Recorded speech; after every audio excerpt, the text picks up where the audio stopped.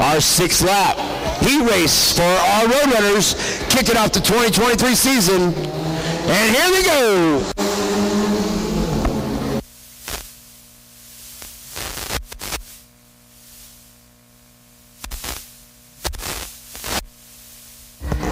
And Dylan Ford sporting those antlers or those those horns up on top. That's going to give me nightmares tonight.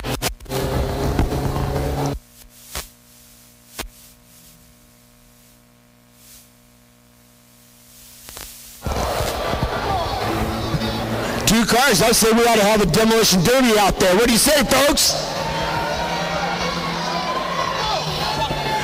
Go on, Nick. Hit him. Hit him, Nick. Give him the light.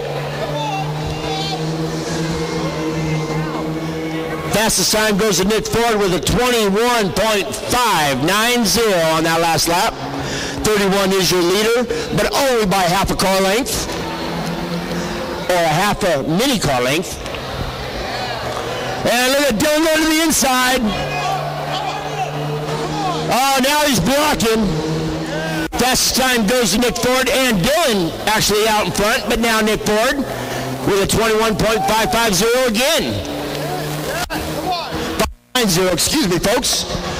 31 out in front. Go ahead, give him a rubbing. There you go. Yes, the horn still works. I say their brake lights should work and their radio should work too.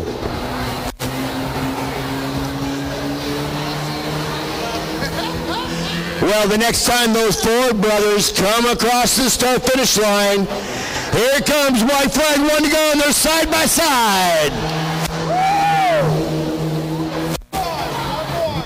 We don't want them to hit, hit each other until the main event, though.